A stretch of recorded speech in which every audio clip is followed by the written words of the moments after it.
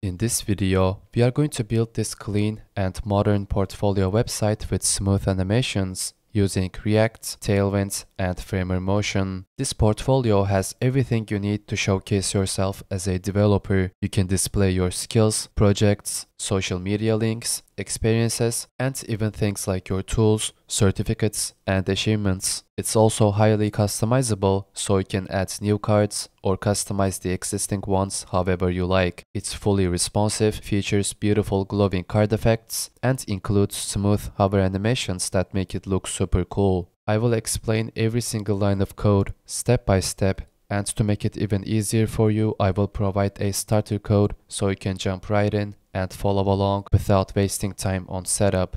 By the end of this video, you will have a fully functional and great looking portfolio website. So, let's get into it.